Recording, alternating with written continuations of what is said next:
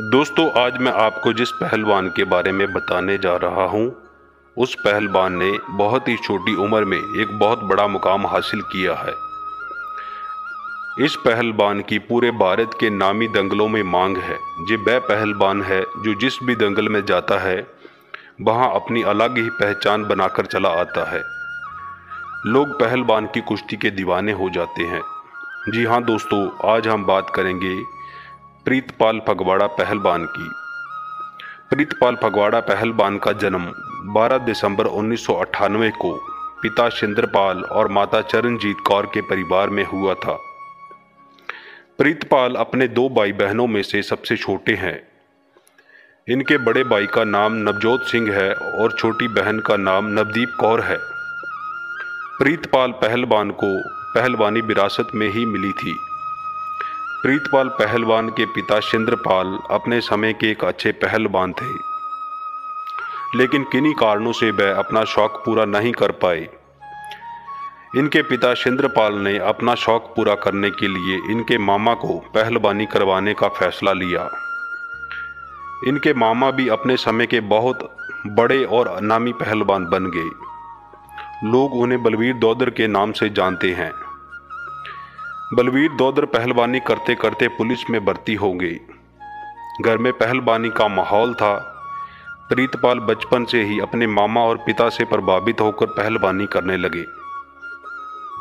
प्रीतपाल 10-12 साल की उम्र से ही पहलवानी की तैयारी करने लगे और फिर प्रोफेशनल तौर पर प्रीतपाल ने रायपुर डुब्बा रेसलिंग अकेडमी में प्रवेश प्राप्त किया।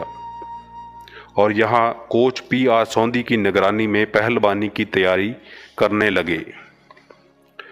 दोस्तों, यहाँ पर आपको मैं एक और ख़ास बात बता दूँ, पहलवान जी के बारे में। पहलवान जी ने रवायती पहलवानी की तरह दंड बैठक और मिट्टी के अखाड़े में प्रैक्टिस नहीं की थी। प्रीतपाल पहलवान ब्रॉक लांसर को अपना आदर्श मानते हैं। प्रीतपाल पहलवान ने मैट और जिम में प्रैक्टिस करके ही पहलवानी की तैयारी की है। लेकिन अब मौजूदा समय में प्रीतपाल पहलवान मिट्टी के अखाड़े में भी प्रैक्टिस करते हैं। प्रीतपाल पहलवान, मनी पहलवान और बाऊ पहलवान के साथ प्रैक्टिस करते थे। और बाद में प्रीतपाल पहलवान जी ने बाऊ पहलवान जी को अपना उस्ताद धारण किया। बाऊ पहलवान का प्रीतपाल पहलवान जी के जीवन में काफ़ी सहयोग रहा है। बाऊ पहलवान ही प्रीतपाल पहलवान का सब इंतज़ाम देखते हैं। प्रीतपाल पहलवान ही भारत का एक ऐसा पहलवान है, जिसने तीन नंबर की जोड़ से एकदम अपनी मेहनत के दम पर सीधे एक नंबर की जोड़ में एंट्री मारी।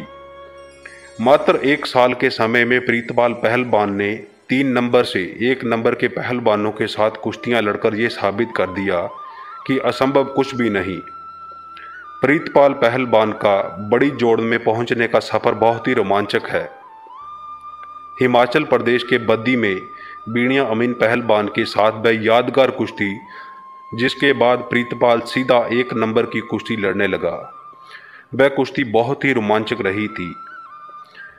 एक नंबर का पहलवान बनने के बाद प्रीतपाल ने कभी पीछे मुड़कर नहीं देखा और लगातार आगे बढ़ते गए।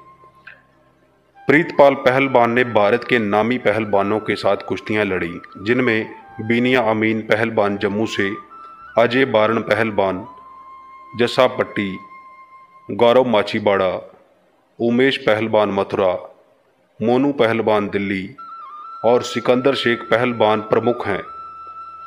परिवीतपाल पहलवान ने 2019 में पंजाब केसरी खिताबी मुकाबले में भी भाग लिया। और पंजाब केसरी का खिताब अपने नाम किया। प्रीतपाल पहलवान जी ने अपने पहलवानी के जीवन में करोड़ों रुपए नकद और इन यादगारी इनाम जीते हैं, जिनमें प्रमुख रूप से ट्रैक्टर, अल्टो कारें, बुलेट मोटरसाइकिल गोड़ियाँ बैंसें सोने के इनाम और अनगिनत गुर्ज जीते हैं, जो भविष्य में उनकी शहरत की गवाही देंगे।